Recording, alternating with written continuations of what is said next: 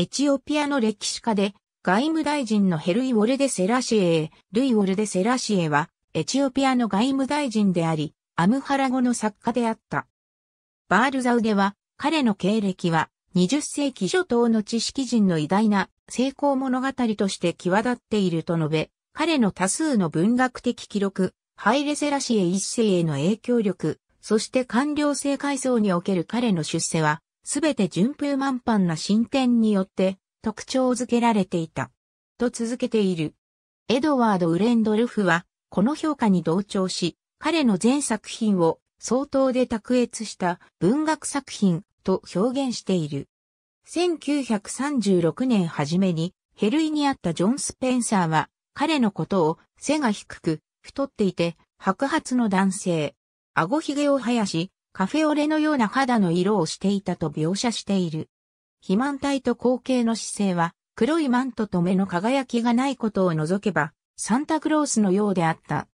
外務大臣としての地位とエチオピアの歴史に関する著作でエチオピア人の間で高い評価を得ていたことを反映してか、彼の動きは非常に重々しく慎重であった。大日本帝国でのヘルイ・ウォルデ・セラシエ。1931年。後列は、施設団の日本側世話人の門岡和義夫妻。門岡は弁護士で、ヒエドソロンなどを唱えた、ツラン運動家、メルハベテ地方のゲブレマスカルに生まれたヘルイは、13歳の時に父親が亡くなるまで地元の教会で伝統的な方法で初期教育を受けた。彼は大地主の女妻として衣食住の見返りに働いて生計を立てていたが、セラレの知事のデジャズマクバシャーボイエの書記官に任命されるまではその仕事を続けた。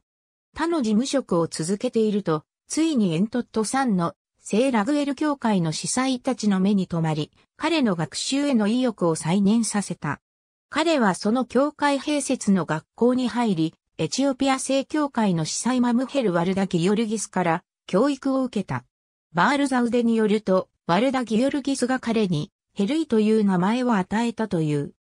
伝統的教育に満足しなかったヘルイは遠くに目を向け、アディスアベバにあるスウェーデンのミッションスクールで英語を学び、フランスの獣医チームで働いてフランス語を学んだ。1916年、摂政ラステファリは、アディスアベバの行政官にヘルイを任命した。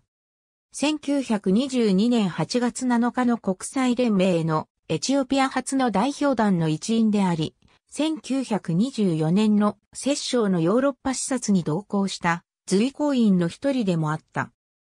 1930年代初頭には外務大臣に昇進し、第二次エチオピア戦争の勃発時に外務大臣を務めた。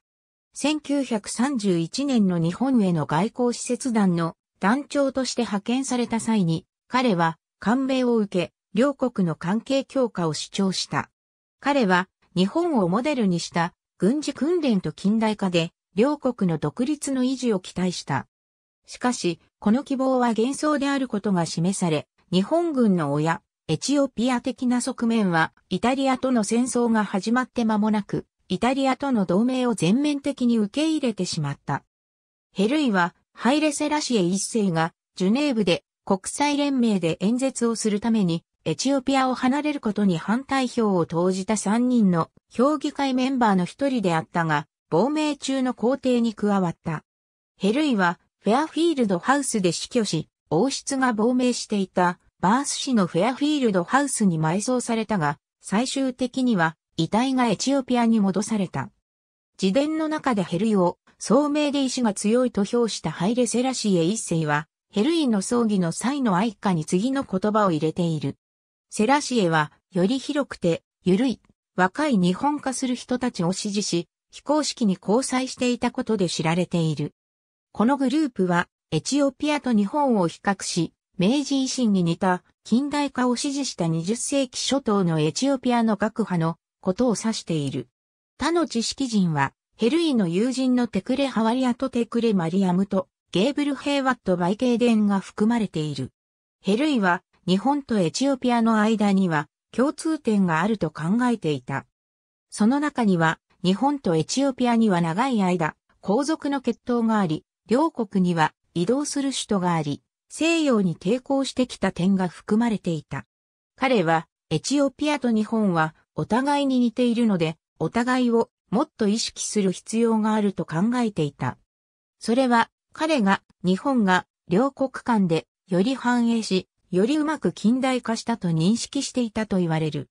彼の1932年の作品、マヒデルバーン、ホグレイジャパンは、この思想を説明している。同書は、アフリカでの初の日本人論と言われ、1934年にイタリア人言語学者、オレステ・バッカーリと日本人妻で、同じく言語学者のエンコ・エリーザ・バッカーリによって翻訳され、大日本の名で日本でも刊行された。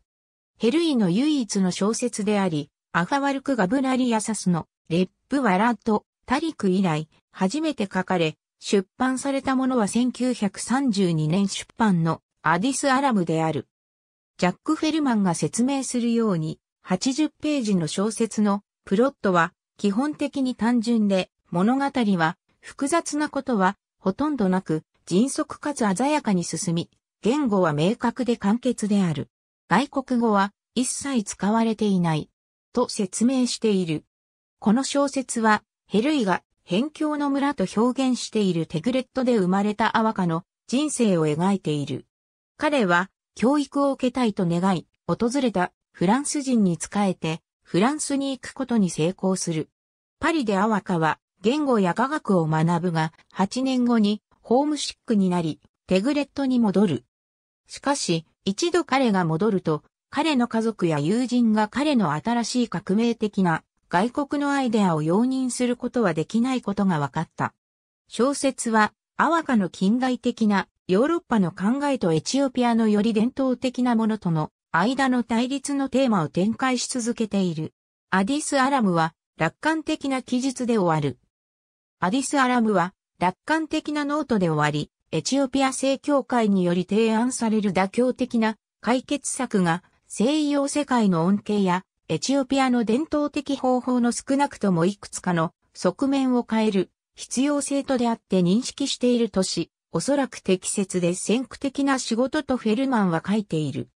アレクサンドリアのビクトリアカレッジとオックスフォード大学で教育を受けた息子のシラク・ヘルイはサミュエル・ジョンソンのラッセラスをアムハラ語に翻訳した。ヘルイ・ウォルデ・セラシエは28冊の本を出版した。ありがとうございます。